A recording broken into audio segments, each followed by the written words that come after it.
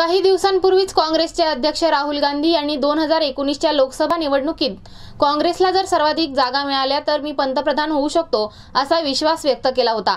त्यांच्या या विधानानंतर राजकीय वर्तुळातून विविध प्रतिक्रिया येत असताना केंद्रीय सामाजिक न्याय राज्यमंत्री रामदास आठवले यांनी आपलं मत व्यक्त केलंय.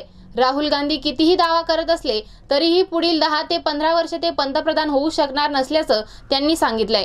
आठवले यांनी कोरेगाव भीमा येथील मृत पूजा सकट हिच्या घरी जाऊन कुटुंबियांची भेट घेतली. त्यानंतर पुण्यात आयोजित केलेल्या पत्रकार परिषदेत ते बोलत होते. भीमा कोरेगावच्या प्रकरणाच्या त्याच कालखंडामध्ये सकट जे कुटुंब आहे त्या सकट कुटुंबाचं घर जाळण्यात आलं होतं. आणि हे जे घर आहे हे इथून त्यांनी निघून जावं अशा पद्धतीचा गावकऱ्यांचा प्रयत्न होता. आणि आता त्यानंतर मग या मुलीला किंवा या कुटुंबाला सातत्यानं धमक्या देण्याचा प्रयत्न होत होता. आणि त्याच्यातूनच एकवीस एप्रिलला ही मुलगी लापता झाली आणि तिचं बावीस तारखेला तिची बॉडी मिळालेली आहे. एक तर मला असं वाटतं की जवळजवळ एक महिना होत आलेला आहे. आणि आरोपी दोन पकडलेले आहेत परंतु अजूनही सात आरोपी पकडण्यात आलेले नाही आहेत त्यामुळे ते आरोपींना लवकरात लवकर पकडलं पाहिजे. या कुटुंबाला पूर्णपणे संरक्षण नाही दिलं पाहिजे. आणि पुन्हा अशा पद्धतीचा प्रकार होणार नाही याची काळजी पोलिसांनी घेणं अत्यंत आवश्यक आहे.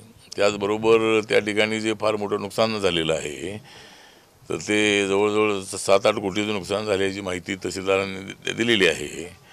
तर मुख्यमंत्र्यांकडे तो प्रस्ताव पाठवलेला आहे. तर मुख्यमंत्र्यांशी बोलून त्या प्रस्तावाला मान्यता मिळवून देण्याचाही मी प्रयत्न करणार आहे. यावेळी पूजा सकट हिच्या मृत्यूला जबाबदार असणाऱ्यांना पोलिसांनी त्वरित पकडून त्यांच्यावर कठोर कारवाई करावी असं ते यावेळी म्हणालेत. यावेळी सकट कुटुंबियांना आरपीआयच्या वतीने एक लाख रुपये देण्यात आलेत.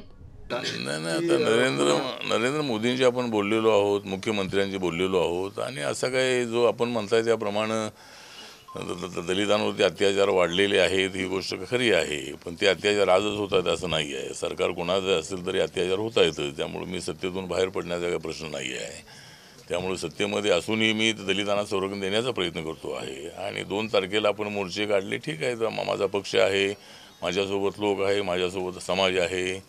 त्यामुळे माझ्या मंत्रिपदाचा आणि याचा काय तसा तसा संबंध नाही आहे. त्यामुळे मला असं वाटतं की दलितांचं संरक्षण करण्यासाठी मंत्रिपदाची आवश्यकता आहे. मी मंत्री असल्यामुळे हजारो लोकांचा फायदा होतो आहे. आणि त्यामुळे पण दलितांवर अत्याचार होऊ नयेत यासाठी सरकारने खबरदारी घेतली पाहिजे. जे अत्याचार करतात त्यांना शिक्षा तर झाली पाहिजे त्यांना लवकर पकडलं पाहिजे. आणि त्यासाठी आपण सातत्यानं देशभरामध्ये प्रयत्न केलेले आहेत. आणि त्यामुळं मला असं वाटतं की दलितांवरती अत्याचार हे जातीवादातून होतच आहेत. पिढ्यानपिढ्यापासून अत्याचार आम्ही सण करतो आहोत. त्यामुळं मला असं वाटतं की अत्याचार होऊ नयेत. यासाठी ज्या सरकारमध्ये मी आहे त्या सरकारच्या वतीनं नक्की आमचे प्रयत्न सुरू